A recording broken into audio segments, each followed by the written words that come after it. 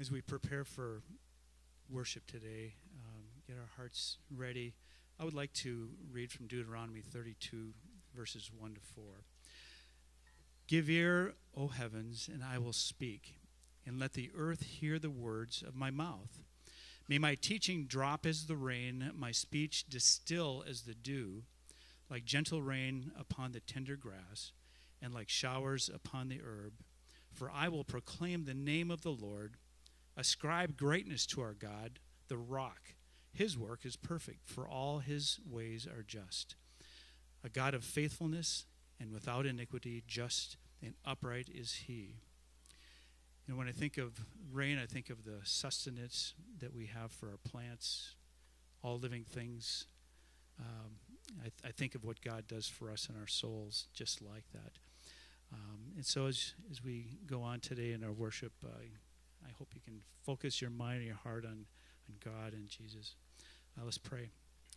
Father, we just now look to you for our sustenance, for our provision, and we worship you as our Lord and God. Amen. Let's keep singing.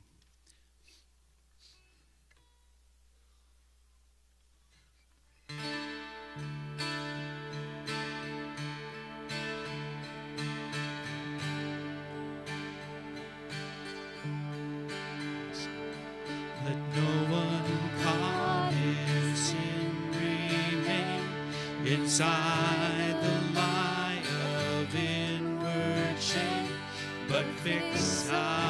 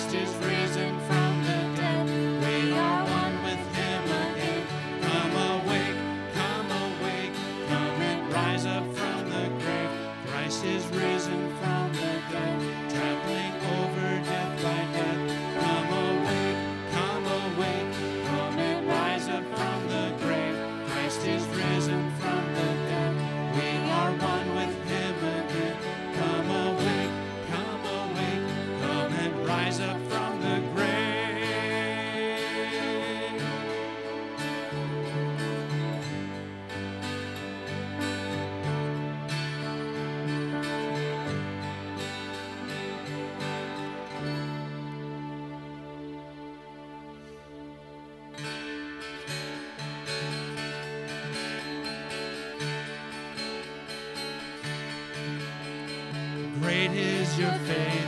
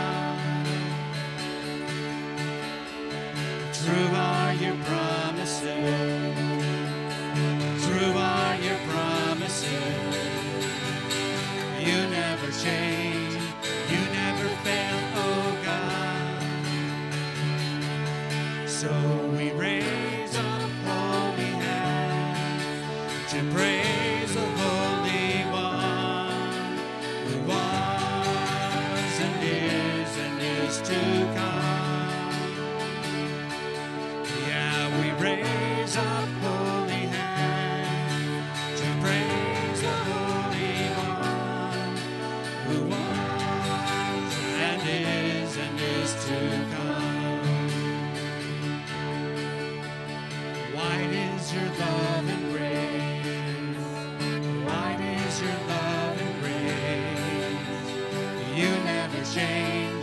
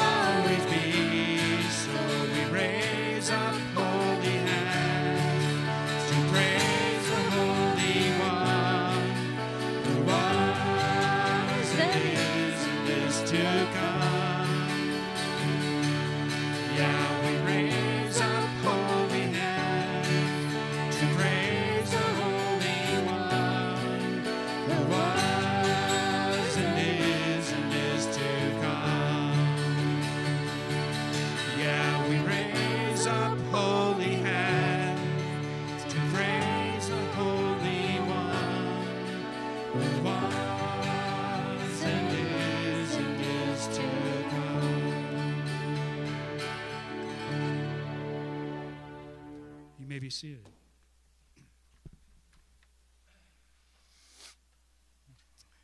Well, okay, good. I'm glad to welcome you all here this morning uh, on this beautiful Sunday. The Lord is good. We may feel struck down and beaten sometimes, but uh, the Lord is faithful. And uh, we need to keep reminding ourselves of that, don't we? We always tend to uh, kind of focus on the negative and get discouraged. But uh, I don't know how many of you read this in the newsletter, but uh, I'll uh, encourage you to look at this. Pastor Corey had a little uh, devotional in there about uh, how our troubles are special tailored for us, and that God doesn't waste a single trial that we go through. He doesn't look down and say, Oops, I should have let you out of that three weeks ago. I forgot the Lord's timing is perfect, and, and we stand on that promise that He will get us through whatever we're going through. So I want to encourage you all this morning that if you're battling various issues, whether it's physical or emotional or whatever you're going through, that we as a church stand behind you. And uh, even it, it affects us all. As, as you know, Pastor Corey is not here. He is uh, taking, home, taking care of his wife and family as she is ill. And uh, so pray for them and, and any others. But uh, first of all, I want to just touch on some announcements here of things that we have coming up. Uh, we have a new uh, women's Bible study starting uh, this coming week, Tuesday nights at 5:30, and then Thursday mornings at 9 a.m. Uh, I think the one on Thursday mornings is starting January 27th, if I'm reading this right. So if you have questions, feel free to contact the church office for that. Uh, we also have a men's breakfast coming up. Uh, if you have never come to one of these, there's some good food and fellowship. We're going to be continuing our discussion on a book that uh, some of us are going through called More Than a Battle. It's uh, concerning lust and, the, and pornography and, and how it affects so many men, whether they're in the church or in the world. So uh, feel free to come for that. That's this coming Saturday at 8 a.m. Uh, also, want to mention in two weeks from today, on January 30th, right after church, we're going to have our annual meeting. And there will be a lunch provided, so we encourage uh, all of you, whether you're members or not, uh, to attend. And uh, if you are considering membership, feel free to stop one of us or the pastors, and uh, we'll uh, get you fixed up in that. Uh, I guess uh, we'll spend some time here in prayer uh, for the various needs of the church. we want to think of D. Williams' family, and and and they're grieving the loss of Dee, and we just give praise that she was a believer and she's with the Lord now, and we thank the Lord for that. We want to pray for the continued uh, health, uh, physical health of the congregation, and also our spiritual health, that uh, the Lord will continue to use these times to draw closer to Him. We also want to pray for Bob and Mary Holdall and what they're going through. Also, think of Karen Schoenfelder mentioned that she's going to be seeing her eye specialist tomorrow. Uh, for some uh, consultation and what to do next uh, as her vision is still not totally restored. So we want to pray for her. And also, we'll continue to pray for Tristan and anyone else that's struggling with the various illnesses. So let's look to the Lord in prayer now. Lord, we just uh, come to you this morning and we, first and foremost, uh, thank you for your many blessings, Lord. Uh, you give us this place that we can meet, and uh, you give us heat that we can stay warm on these cold days, and you give us beautiful sunrises and sunsets that we can just uh, be in amazement of your creative power. And uh, Lord, you give us life. And even though sometimes uh, things don't always go the way we want, we know that you are sovereign, Lord. We know that you are in control of all things, and uh, nothing uh, is wasted in your eyes, no matter what trials we're going through. We know that you are here with us.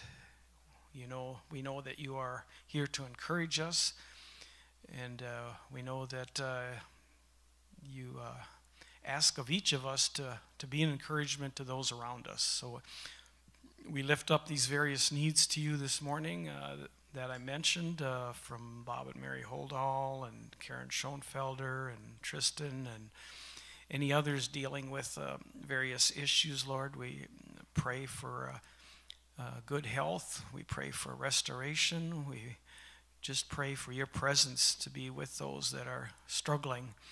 And uh, we know that there's uh, many other unmentioned needs, but uh, you know everything, Lord. So we just uh, lift them up to you. And uh, we pray now as uh, Pastor Brandon will be bringing us a message here shortly that we pray that you will open our hearts to hear what you would say to us today. And we just thank you. Thank you for this opportunity. Thank you for the freedom we have to gather to worship you. We just pray this now in your holy name. Amen.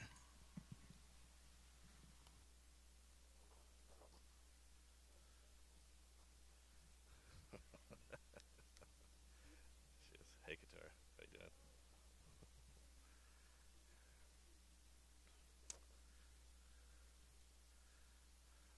Hey, friends. You know, this has very quickly become, I think, my favorite thing that I do actually here at Discovery. I just love the chance to actually sit with all you guys here in the morning. Um, so this morning we're going to talk about being qualified. Have any of you heard that word before? Qualified. Raise your hand if you've heard the word qualified before. Okay, what does it mean to qualify for something? What does it mean to qualify for something?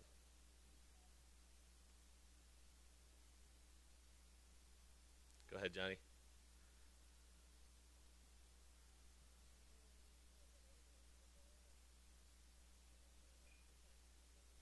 Right. You've you have the ability to do it, and you've done whatever you have to do um, to get in.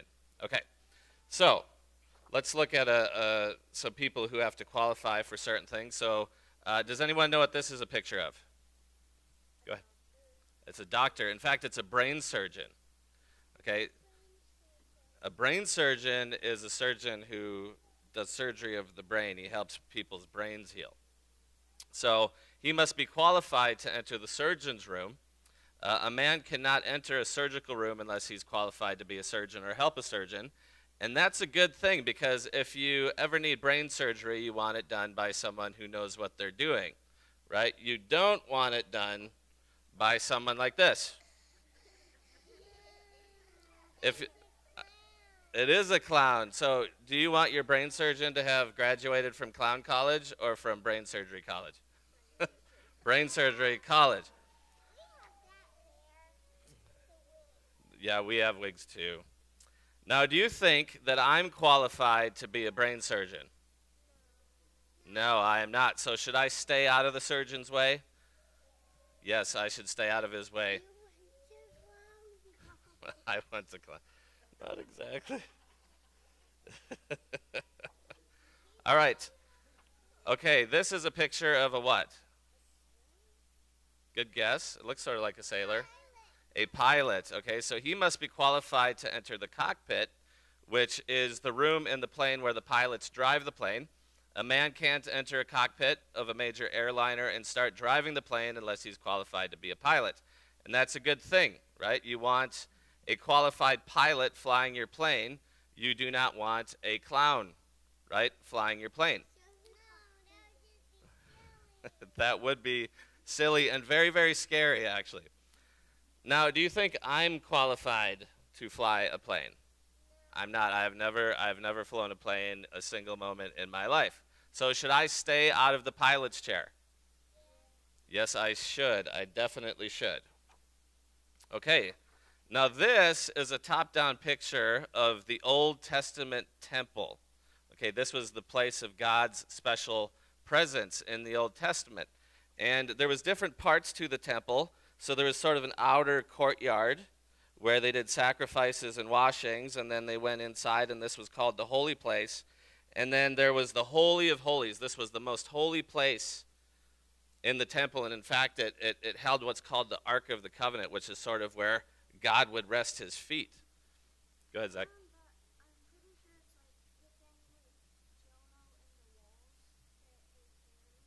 Mm-hmm. Yeah, there's poles in there that they carry the ark. So, to be qualified to go into the most holy place, you had to be the high priest. Before you went in, and you could only go in one time a year, you had to ask forgiveness for your sins by making sacrifices.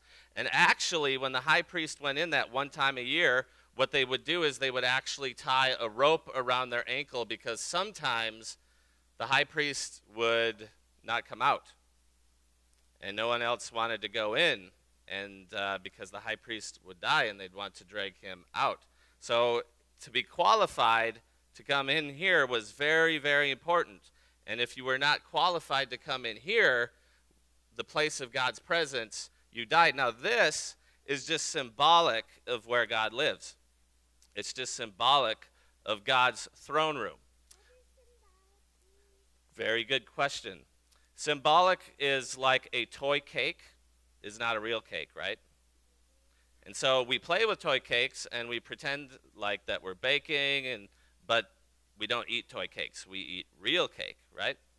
So this wasn't exactly like a toy, but it wasn't the real thing. This was just a place that was figurative, that was symbolic of that place. That's a very good question, Couture. All right, so if we lived way, way, way, way, way back in Old Testament times, do you think I'd be qualified to go in here? Okay, so here's a question.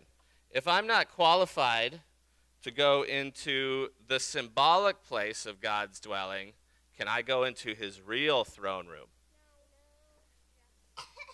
No, and yes. See, now that's a bit of a trick question. Okay? Uh, you're right and you're wrong. There's nothing I can do to qualify myself to get into the place where God lives. But that doesn't mean that someone else can't qualify to get me in. So, for instance, do you guys know where Hawaii is? Any of you ever been to Hawaii? I haven't either, but it's this really nice island, and it sounds like a wonderful place to be in the winter to me. Yeah. Except for the volcano. Yeah, as long as it's not about to go off, I still would prefer Hawaii. so if I wanted to go to Hawaii, I would have to buy tickets. And tickets can cost hundreds of dollars. To be qualified for the flight, you need a ticket. And to buy the ticket, you need money. Now, my three year old here, JL, she does not have hundreds of dollars. So she cannot buy a ticket. She cannot get a ticket on her own. Therefore, she is not qualified for the flight. So, can she be qualified to take the flight? Not on her own power. You see, my daughter can't do anything to get a ticket for herself, but that doesn't mean that dad cannot buy a ticket for her. I'm going to buy you a ticket to go to Hawaii. That's just symbolic, by the way, JL.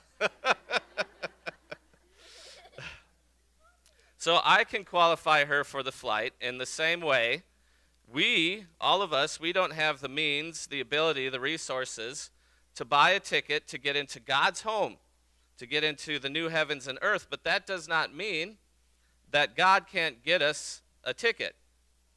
Christ came to earth to live a perfect life, and Jesus gave us his perfect life and died as payment to give us the way home to God. So, this is what I want you to do take a bulletin today and listen up and learn more about how God qualified us for heaven. And when you go home today, ask your mom or your dad or your grandpa or your grandma or your guardian what it means to be qualified for heaven and how you can trust in Jesus for that. So, the words we're going to listen to today are going to be God, Father, Gospel, and qualified. And if you get at least 10 marks, uh, you can come find me after the service, and I will give you treats for today, and I will give you treats for last Sunday when I wasn't here. Because I had a, a giant drawer full of bulletins when I came into the office this week.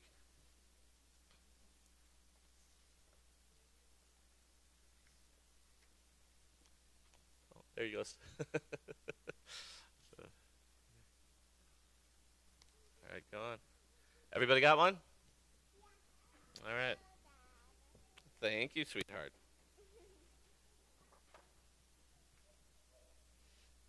All right.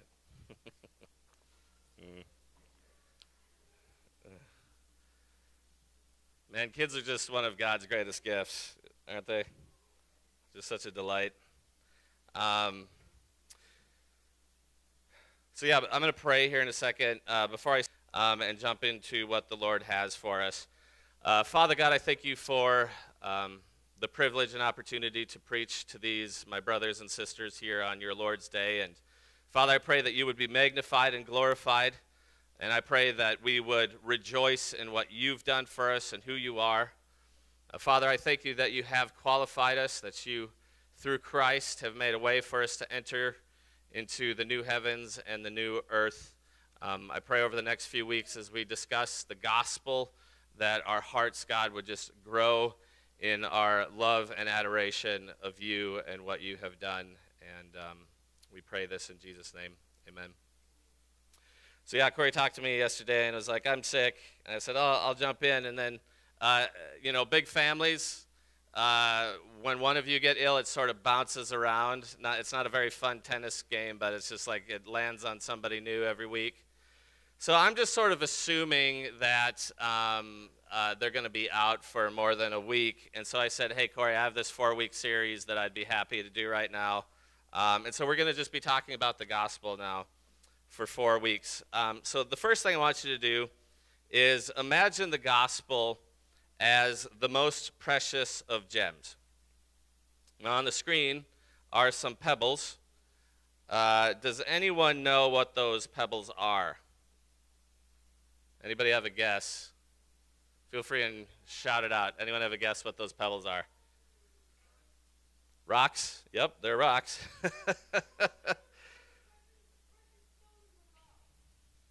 sure. Yeah, okay. So these are actually diamonds in the rough. They're diamonds in the rough. Now, girls, do any of you want one of those on your wedding ring? Right? No, of course not. But they're valuable. They're very valuable. They're still diamonds, but we don't see the diamond within. Uh, the gospel is similar. It may seem like a pebble until you really see it. If you see it, you know there is nothing more valuable. Like a cut diamond, uh, the gospel has many dimensions or sides.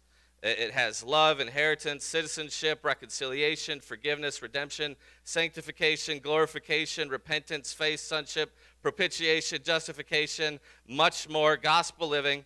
The gospel is big. And I use some big words to describe it, but big words are beautiful once you know what they mean. Now, we're not going to cover every single one of these dimensions over the next four weeks. Um, but as we cover them, I hope, my hope is that you see that the gospel is so much richer, so much deeper, so much bigger than perhaps you ever realized it is, and therefore it will lead you to rejoice. So let's get started. Uh, Colossians 1 12 through 14 says, Give thanks to the Father who has qualified you to share in the inheritance of the saints in light. He has delivered us from the domain of darkness and transferred us to the kingdom of his beloved Son, in whom we have redemption, the forgiveness of sins.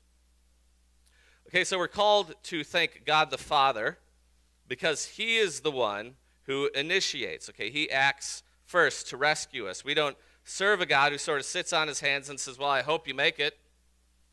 You know, I'll provide the ladder, but you got to climb it. Good luck, and may the odds be ever in your favor. Right? God isn't like that. Uh, he doesn't say, I'll provide you with the possibility of being part of my kingdom, but you got to earn it, so get to work. That's not God. And if it is, then we should only sort of thank Him because at the end of the day, we're the ones saving ourselves. But that is not the gospel. Give thanks to the Father, for it is He who has qualified you. Past tense, completed, done. Okay, God fully, completely, and unilaterally qualifies us. And notice that it is God the Father who qualifies us. You know, many people, I think, sometimes are suspicious of God the Father. They think, well, you know, Jesus, that dude with the really well permed hair that looks nice and has a perfect complexion, right? That's not what Jesus looked like. Okay, but Jesus is the really nice God who really cares for us and goes to hell and back to save us, right? He's the one who died on the cross for us, but the Father, I don't know. I don't know about him. Listen, the Father is not up in heaven with a half clenched fist behind his back waiting you to step out of line so he can smack you. Jesus did not come to save us against the Father's will. Jesus came because he was doing the Father's will. How do you think God feels about you? How do you think God the Father feels about you today? And what are you basing that on? Are you basing that on the fact that he was willing to send his one and only beloved Son to save you? Or are you basing that on a life circumstance that's negative or not getting something that you really wanted or guilt over sin that, yes, you, you did it? You did it. Jesus came because he was doing the Father's will. Jesus himself tells us this in John 6 37 through 40. All that the Father gives me will come to me, and whoever comes to me I will never cast out. For I have come down from heaven not to do my own will, but the will of him who sent me. And this is the will of my Father who sent me, that I should lose nothing of all that the Father has given me, but raise it up on the last day. For this is the will of my Father, that everyone who looks on the Son and believes in him should have eternal life, and I will raise him up on the last day. See, the Father is just as much involved in saving you as Jesus. In fact, he is even more involved because he's the prime initiator. He started the work. The Son came to save because he was sent by the Father. Jesus did not come in spite of the Father's wrath, but because of the Father's great love. Jesus was sent by the Father to make us qualified. Now let's zoom up on this word qualified. So, as we discussed in the children's sermon, in our horizontal world of human interaction, qualification only happens in two ways you either earn it or you steal it. Right? Like, I can't just walk into the next Olympic track event and say, hey, everyone, I'm qualified to run this race based on what the judge asks. Well, because I think I should be. I'm entitled. I mean, I know I have these short legs and I'm a little bit soft in the middle. But on the inside, I identify as an Olympic athlete. It's my dream. The judge gives me an expression like, is this, is this for real? So I launch into it. Listen, if you do not accept me as a participant, you're an oppressor because how dare you tell me that I cannot do what I want to do just because I want to do it? The judge says, Sir, you're not an Olympic caliber athlete you couldn't possibly compete. In fact, you would be embarrassed to run with those athletes. I respond, What does my body have to do with it? I already told you I identify as an Olympic athlete on the inside. Who are you to stand in the way of my personal feelings and dreams? Okay, so question Should my personal feelings qualify me for the Olympics? Of course not, right? The Olympics is the premier athletic event of the world. How do you qualify for it? By being the best runner in your nation. You're qualified because you've won race after race after race, which means you've devoted the time, you've trained, you've worked, and also God graced you with a highly athletic body. In this scenario, you qualify yourself, and only if you qualify yourself do you get into the Olympic event. How I feel on the inside has nothing to do with the truth. That I could never qualify for an Olympic race. You know, at this point, I doubt I could beat most middle schoolers at the mile.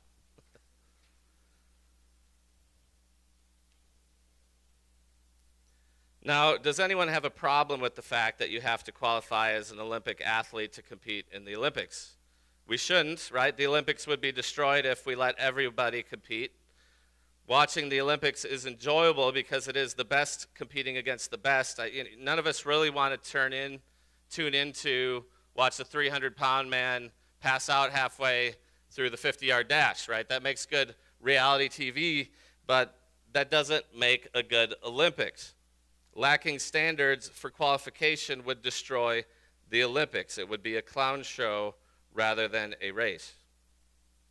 Okay, how about qualifying for a college degree? You know, imagine a freshman walks into his dean's office and demands their college degree. Well, the dean says, No, you're not qualified. You haven't taken the classes, passed the tests, received an adequate GPA. No employers are going to want to hire our grads if we just hand out degrees like monopoly money. The student responds, But I'm entitled I, I deserve it because I want it. If you don't let me have it, you're an oppressor. Should any of us be qualified for a degree, a job, or anything else just because we think we should be?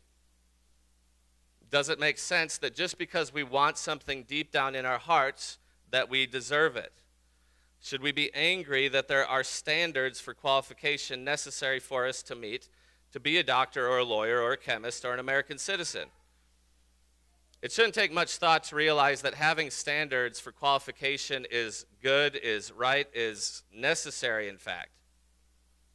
You know, if I go to the symphony orchestra and drop $120, the players better be qualified to be on the orchestra, otherwise, I'm getting ripped off. Without standards for qualification, everything would be mediocre. Everything would stink. And in fields like medical care, everything would actually be dangerous. Now, here's the rub. Although most people with a small conversation will understand that in all these areas it's desirable and important to be qualified, how many people get offended when they hear that they must be qualified for eternal life? That they don't just get saved because they really, really, really want to be saved and not go to hell. God is not wicked, evil, or unreasonable. He's not oppressive because he demands that we are qualified to enter his kingdom. Entering his kingdom is more important than the Olympics. It's more important than becoming a doctor. It is more important than anything anyone has ever done. So it's absolutely reasonable that we would have to be qualified to get in. It makes total sense. Still, some people get angry when we quote Jesus, who says, I am the only way to be saved. No one, not a single person, comes to the Father but through me. If we have an issue with what Jesus is claiming here, several things might be going on, one of which is we think entering God's kingdom should be based not on who we are or what we actually deserve, but based on what we want. And because we think we deserve what we want just because we want it, God is unjust to withhold it from us. Do we qualify to enter God's holy presence? Are we holy, holy, holy as God is holy, holy, holy? No. And that is the bad news. But it is true, and the good news follows, so do not get angry. We are not perfect as God is perfect. We have not loved God with all our heart, soul, strength, and mind in everything we do. We have not loved our neighbor as ourselves. We have lied and stolen. We've been unjustly angry. We burned with immoral lust. We have had many gods before the true God, not the least of which is the person we see in the mirror. The Bible says all have fallen short of the glory of God. You, me, everyone, all of us have failed to meet God's standard. And this does include me. My sin list is long, it would fill up libraries if it were to be printed. Which is why at the end of the day I say, Thank you, Heavenly Father. You have qualified me for eternal life when I could not qualify myself. You qualified me when I was not only unqualified, but disqualified. Praise you, God, you did it. We need to turn away from ourselves. Our joy is meant to be in the grandeur of God, not in ourselves. If our joy is in the greatness of God, it ceases to matter that we're sinners. In fact, we find that the more we see our sin, the more we see the greatness of God's grace. And as we enjoy forgiveness, we are happier than we would be pretending we are not sinners. Guys, Christianity is weird. It's, it's a paradox. Because if you really understand what Jesus teaches, two things will happen simultaneously. One, you'll learn that you're far worse than you ever thought possible. And two, at the very same time, you'll realize God loves you more than you ever thought anyone could. Praise Him. God's grace is greater than our sin. Praise be to God. If you wish to be qualified for eternal life, the only way you can be qualified is if God the Father qualifies you, and He does because He loves us. It's not hard for Him, it's not something He feels forced into doing, it's His joy to qualify us. So thank Him and, and rest in the fact that you don't have to qualify yourself. Please don't think that God the Father is like the dad who has pointless, impossible standards. God the Father is not the dictatorial, abusive dad who always wants you to know just how disappointed he is. God the Father is a good father. He is a father who has a perfectly holy standard that must be met simply because without meeting it, we would disintegrate in his presence. A good father knows we cannot meet the standard. No matter how many ladders he drops down from heaven, we cannot climb them high enough to get back to him. So our Father makes a way for us to meet his holy standard.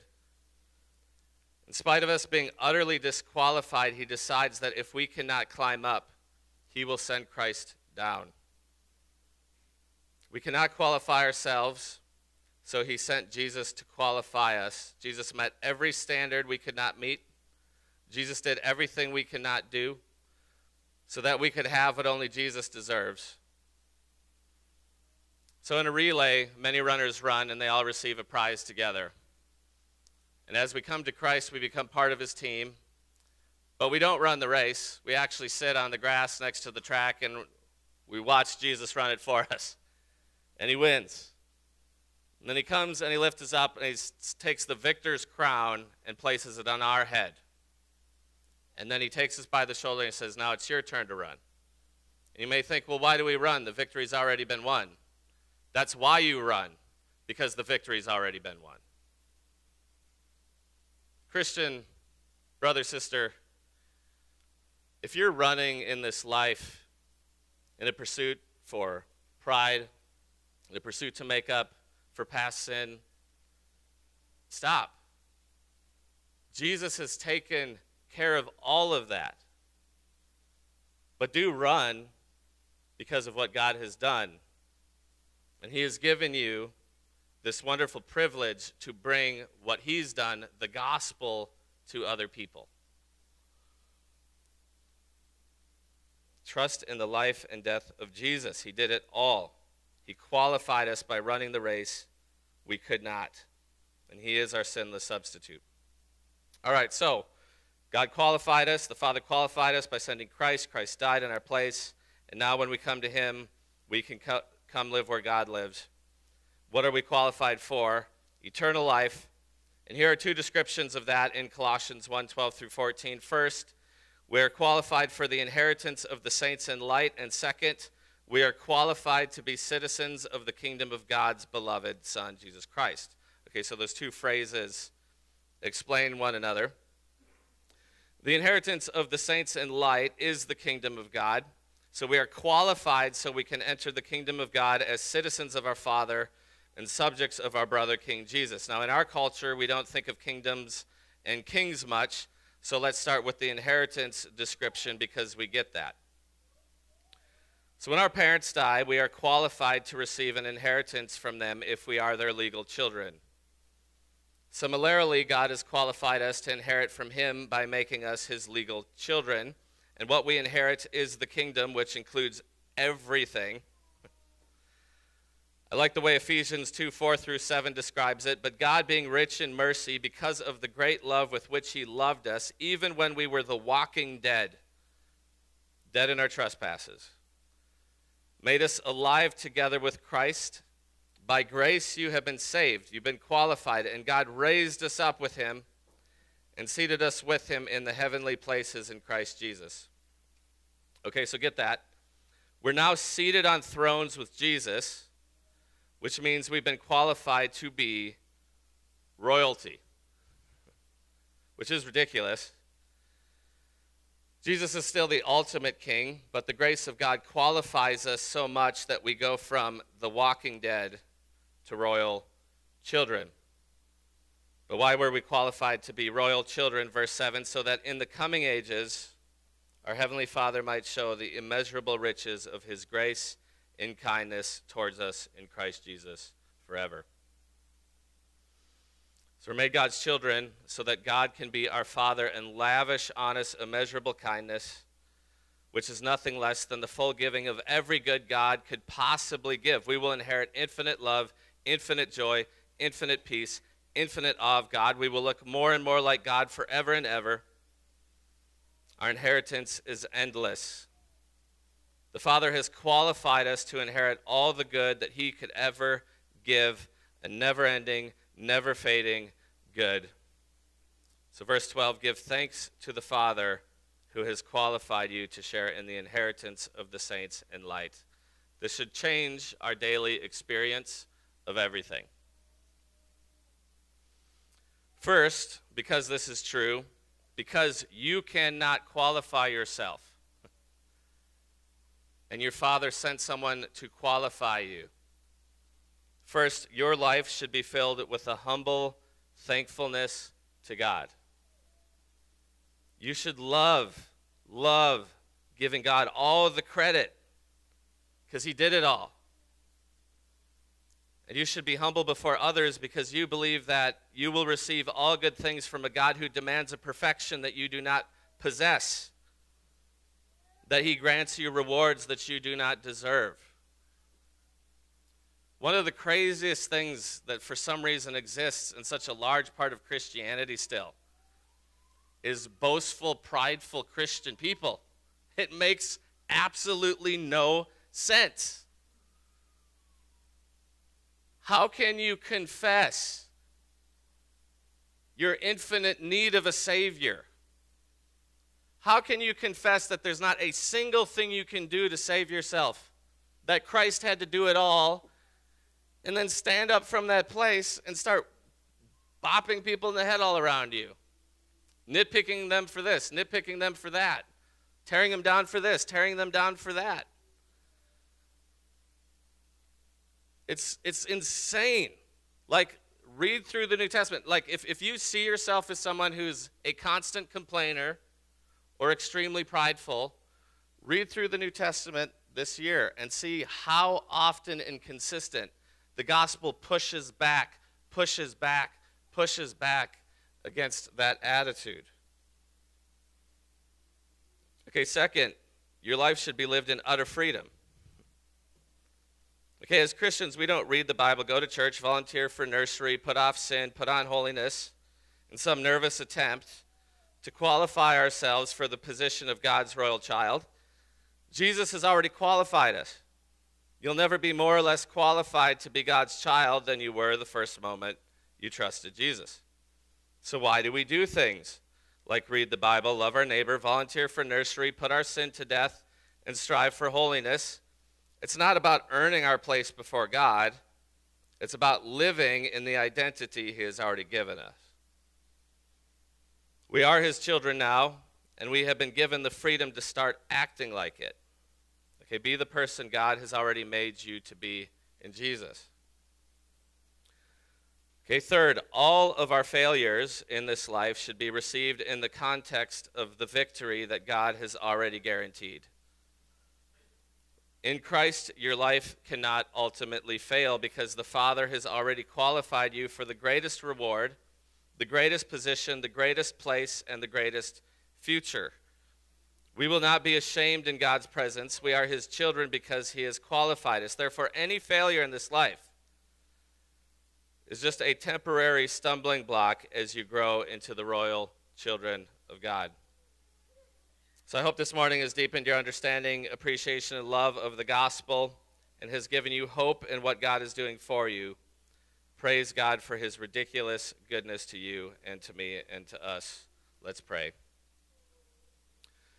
Father God, I thank you again for the grace of the gospel, Lord, and for your love for us and all that you've done for us in sending Christ.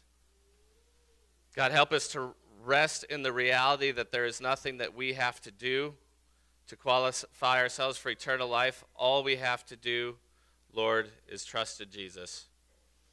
God, let this humble us, let this free us, and let this give us a context to understand and deal with setbacks and failures in this life. And we ask this in Jesus' name. Amen. I invite you to stand as we sing our last song, Blessed Assurance. Uh, this is a song that uh, Dee's, Dee Williams' family chose for uh, her funeral, and it's just a cool song. Great hymn. So here we go.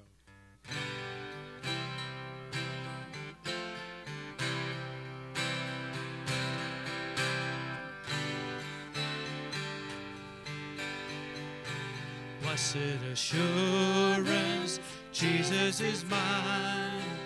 Oh, what a foretaste of glory divine, heir of salvation, purchase of God, born of His Spirit, washed in His blood. This is my story, this is my song, praising my Savior all the day long. This is my story, this is my song, praising my Savior all the day long. Perfect submission, perfect delight, visions of rapture now burst on my side.